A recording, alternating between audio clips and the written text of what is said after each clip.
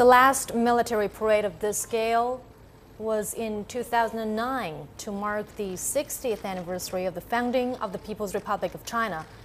And this is the first time that such a military parade takes place on a date other than October 1st, that's National Day of China.